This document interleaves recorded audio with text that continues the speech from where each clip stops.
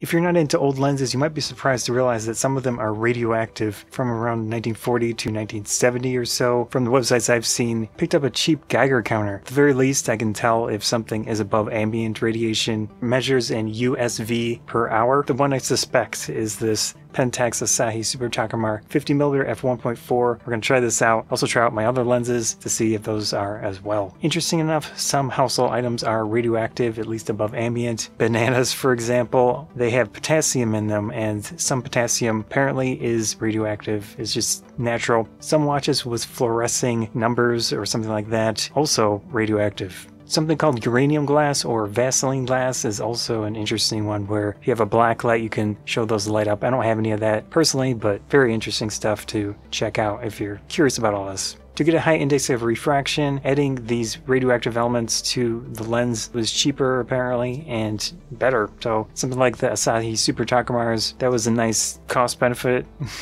something like that. But yeah, these days, not so good. From the Camerapedia website, it was saying the main source of radioactivity often was thorium oxide, up to 30% by weight.